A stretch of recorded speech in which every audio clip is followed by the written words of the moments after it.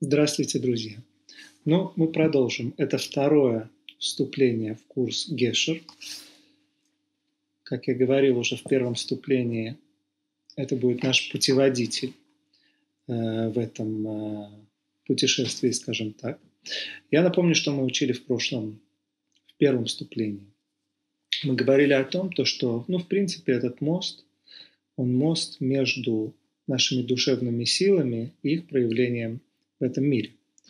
Э, также мы говорили то, что одной из интерпретаций первых двух слов в Торе «Парашит бара», то есть э, бара – это как бриют, это здоровье. О каком здоровье идет речь? Здоровье физическом и, конечно же, о душевном, духовном здоровье. Потом мы говорили о том, что есть, что является здоровьем. Что это такое здоровье? И это вопросы, они, конечно, совершенно неоднозначные.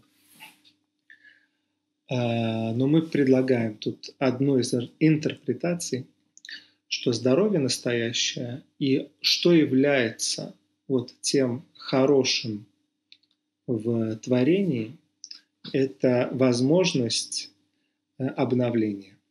Ну, вы знаете, может быть, то, что тело человека, все клетки меняются за 7 лет. Э, мы видим это в природе. Эм, постоянное обновление сезонов и так далее. И, конечно же, в психике человека тоже нам нужно обновление. Если что-то, кто-то, у него какие-то есть мысли или у нее о прошлом, что-то так, не так, почему и зачем, нужно было сделать что-то по-другому, но это, как видно, надо обновиться, потому что это очень сильно э, тянет энергию человека и тянет человека в прошлое, а не в будущее. И, как видно, э, лучше но э, эти силы душевные использовать в другом направлении. Эм, также мы говорили о том, что эм, вот это вот обновление, оно связано с искусством жизни. И, как видно, э, вопрос, как это сделать, как э, перепрыгнуть из какого-то состояния стагнации в состояние эм, прыжка, не застревая в, в каком-то промежуточном э, этапе э, выживания, скажем так. Эм, ну а вопрос, что это такое? И э, есть предложение вот такое, то, что Всевышний сказал, то, что наш мир, он товнул, он очень хороший. И это как будто бы у нас, не как будто бы, а это по факту у нас аксиома. Если мы так не чувствуем, что мир является, наш мир является Э, очень хорошим, э, ну, как минимум, надо задуматься, почему в нашей жизни не присутствует э, или нету такой доминантности этого хорошего, если нету. А если есть, вопрос, как сделать это еще лучше. Эм, ну, давайте поговорим об искусстве сейчас. Задумались ли вы когда-нибудь, что это такое искусство? какое вы бы, ну вот, что это такое? И мы зачитаем из э, Святого Зоара э, одну из, э, вот что это такое, что Зоар говорит, что это такое искусство. Дам вам точный источник, это находится в предисловии к Берешит, страница Кафалев 21, вторая сторона страницы. И в принципе он говорит, Зоар говорит то, что искусство – это проявление, это возможность проявления потенциала. Из, на иврите это называется «мякоах элапуаль», то есть из потенциала в реальность. Э, открою скобки, он говорит то, что в принципе сфера бина является как будто бы оман, это ну нет, это не человек искусство, иврит чуть-чуть другой язык, это оман сферы хохма. Почему? Потому что он, это бина, она проявляет желание хохмы. И также последующие сферот до Мальхут. То есть Мальхут проявляет желание э, сферы, которая находится выше ее. Э, это так. В скобках э, для людей, которым интересуются и которые более знают эти термины, но мы находимся с ногами на земле. Так что это такое искусство? И вот в широком смысле этого слова это проявление потенциала. То есть ну, у нас есть душа. И вопрос, как проявить вот этот потенциал э, в жизнь или эти душевные силы, скажем так. Как проявить наше желание, э, настоящее желание э, в мир. И так как пишет нам Святая книга Зоар, вот это и является актом искусства. Но мы можем спросить, мы можем сказать то, что мы не художники, мы не писатели, знаете, каждый заявляет, занимается своей э, профессией. Эм, что это такое вообще искусство и как мы можем с помощью искусства проявить э, то, что у нас уже есть э, внутри? Эм, ну, может быть, знаете, мы же пробуем эти лекции, стараемся как-то донести информацию, и если вы захотите, вы можете остановить эту лекцию и подумать хотя бы несколько минут, как вот мы можем проявлять это искусство в нашей жизни. А сейчас я вам дам ответ или один из ответов. Что это такое искусство жизни? То есть искусство обновления, вот искусство проявления этого потенциала в... То есть искусство, как мы можем взять этот потенциал, который у нас внутри уже находится, и проявить ее в жизнь. А, так вот, один из мудрецов, который, может, которого, которого вы слышали, Раби Нахман из э, Бреслева, он говорил то, что самое базовое искусство в, у человека является речь. Ну, это такое интересное заявление. Но если вы подумаете, что это такое, что такое речь, у нас находятся какие-то мысли в голове. И они часто ну, не очень э, четкие. Но когда мы выбираем слова и соединяя их с тем, что находится у нас внутри, вот это и есть самое базовое форма искусства, о которой, которой говорит вот, э, Рабин. И, конечно же, вот таким искусством точно мы можем пользоваться. Хочу вам сказать то, что ну вот я записываю этот урок и Парашат Шаву. Да, и почему-то как-то я на этой неделе открыл книжку, которая называется «Бат Айн», Э, человека, который э, приехал из Европы в Цфат. Интересная история. Он эм, ну, великий человек был. Э, похоронен в Цфате. У него книжка есть Батайн. Батайн в переводе с иврита это вот эта вот черная точечка, которая находится в глазе. В Парашат Шавуабо он пишет такую вещь интересную. Он пишет такое, что это такое Ган-Эден. Ган-Эден – это рай на иврите. Это состоит из двух слов. Ган – это сад, и Эдем – это, ну, сад Эдема. И что он говорит? Он говорит то, что э, интерпретирует это так, то, что Эден – это мысли, а Ган – это речь. Э, а есть еще река, которая выходит из Эдема он говорит то, что это голос. То есть с помощью э, того, что мы берем мысль и высокую мысль, мысль э, духовную, которая соединена с высоким, высшим источником, и с помощью голоса э, превращаем ее в разговор, он, мы можем проявить э, так, э, ну или создать себе может быть рай на этой земле. Как мы знаем, говорится тоже в наших источниках, что жизнь и смерть, она в руках нашего языка, в руках речи. Если вы можете, эм, ну, не будем давать э, слишком много э, примеров этому, так как это уже, э, я думаю, понятно, эти примеры. Так что речь является базовым как бы искусством в нашей жизни. А если мы говорим о том, то, что речь, она связана, конечно, с мыслью, не какая-то болтовня. Э, вот такая речь, она может, э, ее проявление может создавать, конечно же, другую реальность и с разговором с людьми и, и так далее.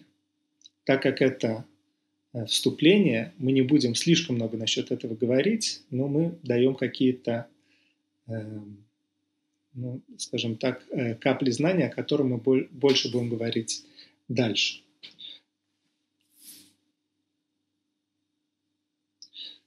Вот. Э, Еще хочется сказать такую вещь. То, что э, нам кажется, то, что мысль превращается в речь. Но есть и обратный процесс. Что влияет на мысли? На мысли влияет сама речь тоже. То есть человек, который говорит слова э, хорошие, и его ухо это слышит, это обратно влияет на наши же мысли. Это может быть, э, ну, как бы, с одной стороны, понятно, с другой стороны, это не очень интуитивно, но э, наша же речь, она создает нам мысли.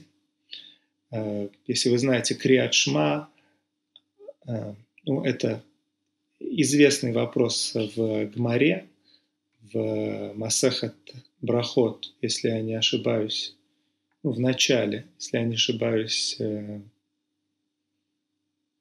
ну, где-то там в 13-15 листе.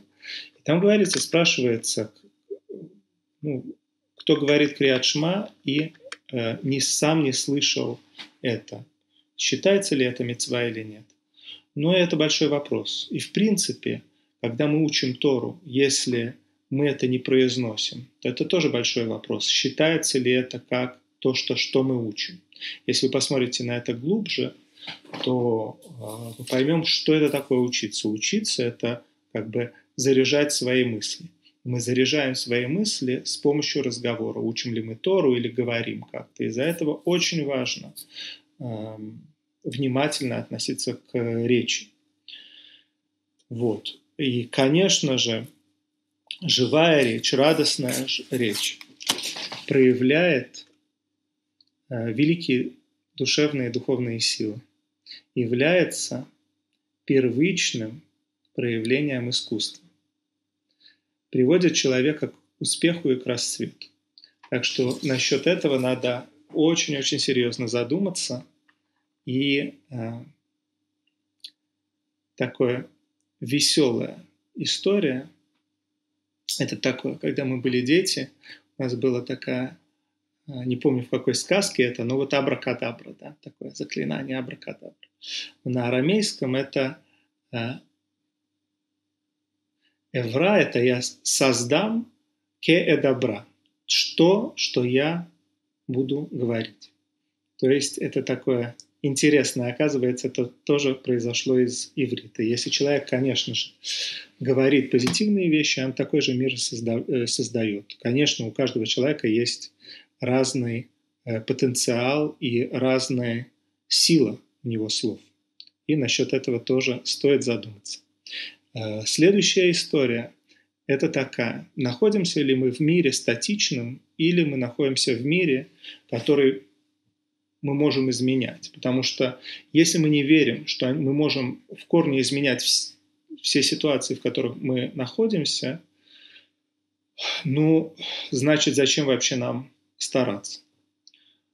То есть есть изменение внутренней реальности, что мы по-другому смотрим просто на то, что уже есть, а есть то, что мы в корне меняем вообще, что происходит.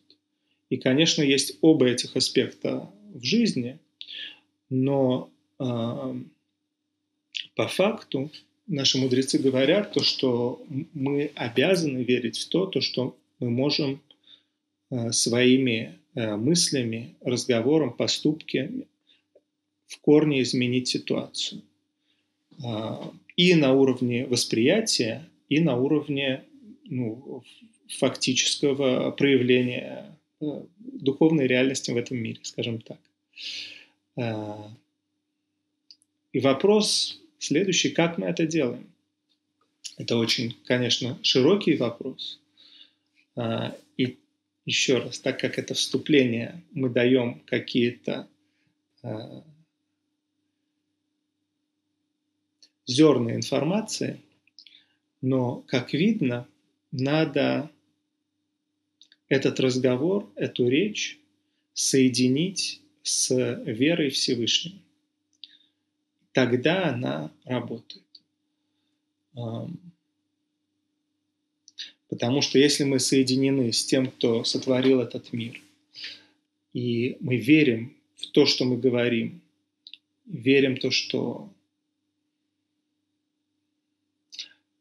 ну, то, что это правильно, то, что это по Торе, э, тогда, конечно, уже у нашего разговора э, есть совершенно другие силы. Эм, одной из практических э, историй это вот в Хасидуте Бреслева они делают Идбудаду, то есть они разговаривают фактически, или мы, все евреи, потому что это не относится, этой техники не относится к какому-то отдельному э, направлению хасидута, а это было всегда, потому что это часть молитвы, разговор со Всевышним. То есть, если мы посмотрим на это чуть-чуть глубже, э, вопрос, что это такое человек? Человек – это Адам да, на иврите. Есть у нас разные виды, виды в этом мире есть э, неодушевленные предметы, как этот карандаш, есть растительные. Между ними есть средняя ступень, это, это кораллы. Да? Между растительным и животным есть тоже средняя ступень. Эм, говорится в Гмаре о каких-то существах, которые были э, через пупок Одна сады это называется. Через пупок связаны с землей, они могли ходить, это как бы были наполовину животные, наполовину растения. Они были, могли ходить, но они связаны были с одним местом. С, с одним местом на земле. Да? А, э, есть что-то между животным и э, человеком. Ну, это обезьяны. Что такое человек? Между животным и тем, кто может разговаривать. Да? Это обезьяна или попугай. И потом есть человек. Человек – это тот, кто э, может разговаривать. Да? А, а что это такое, тот, кто может разговаривать? Там тоже есть тонкости, конечно, насчет этого. Все ли люди разговаривают или есть, которые болтают. Но э, если мы возьмем на иврите и заполним э, буквы Адам, то есть Алиф, Далет, Мем, и Алиф мы пишем Алиф, Ламет, Пей. Да, мы наполняем эти буквы. Да. Далет и Мем, и прочитаем весь этот наполнение этих букв, мы увидим слово митпалель, то есть молиться. Кто есть настоящий человек? Тот, кто молится. Что это такое молитва? Молитва – это речь, которая связана с верой и направлена в каком-то направлении. Да? Эм, вот несколько мыслей тоже об эм, что мы затронем в этом курсе. Еще раз, это курс, который попытается соединить наши внутренние силы, наш внутренний потенциал, который дал нам твор... да, данный уже у нас Творцом, и попытаемся э, научиться проявлять их все лучше и лучше в этом мире, ну, на благо э, себе, нашим окружающим, благо Всевышнего, восхвалять Его имя и радоваться, конечно же, жизни. Всего самого наилучшего. До свидания.